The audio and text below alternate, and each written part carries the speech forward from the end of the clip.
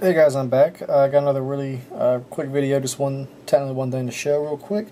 Um, I've actually had this made for quite a long time at this point now. I just haven't shown it on YouTube. Um, it is my custom Thanos uh, Big Fig, quotation marks. He is bigger than a normal figure. So this is made, uh, well this is the Endgame version, or technically the beginning of Infinity War, uh, minus the gauntlet. Um, so I made this uh, like I said, quite a while ago. He is made out of one of the Ninjago articulated figures. Um, I used it to make my old Thanos, which um, if I bring in right here, here's the two of them together. And you may notice I've also made a new head uh, for my old Thanos. And the cool thing about these is this helmet is removable.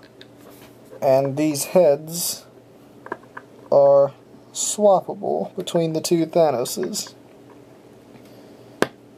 Which uh, I quite like. So I can swap the head between the two. and then you can put the helmet back on.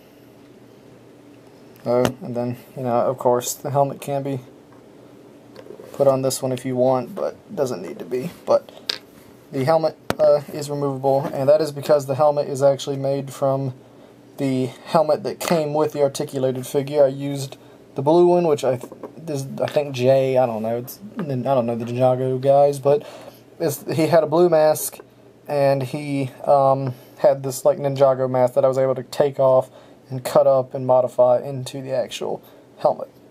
And, and it's removable. You can see it's just like a big. It's just an um. It's basically just a minifigure that's bumped up in size.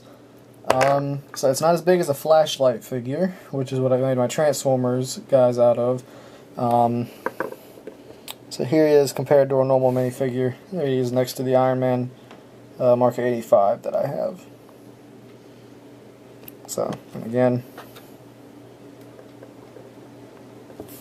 if you wanted to see it with the helmet on next to a figure, there it is. So, uh, I'm going to take the helmet off just because he actually doesn't even wear that much in the movie. It gets broken almost immediately. Um, but here he is. So, neat thing I've done, I'm still waiting on a sword. Uh, I haven't made the sword yet, but I did make this hand posable and removable. So, uh, this will eventually be able to hold a sword. Uh, I'm just waiting on that uh, from Tumio. Uh, I'm just waiting on him to be able to ship that to me once he's back in, got his store back up and running. Um, but still, articulation, the arms can still move, the head can rotate. Legs can't really move anymore because of the skirt, so that's fine with me though. Um, they couldn't, there's nothing really stopping them from moving except for the skirts in the way.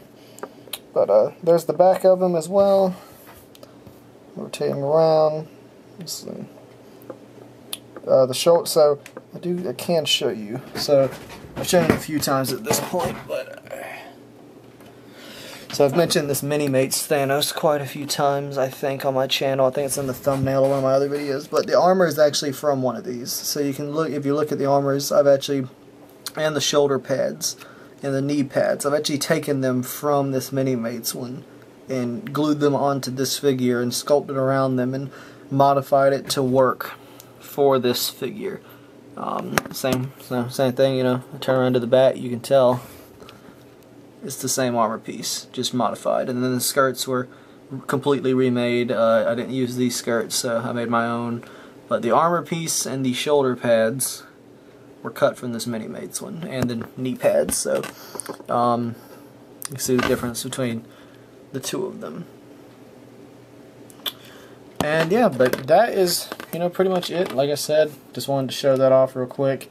Um, with this, you know, I got my two Thanoses together, and the Iron Man again so you can see the scale. But that is really it for this video. Just a quick one to show these off. So uh, let me know what you think down below. Um, I will have the sword eventually for him. Just don't have it yet. But uh, eventually we will uh, have a sword for him. But just want to show that Thanos off uh, very quickly. And then, um, yeah, that's about it. So thank you very much for watching. And uh, have a good one.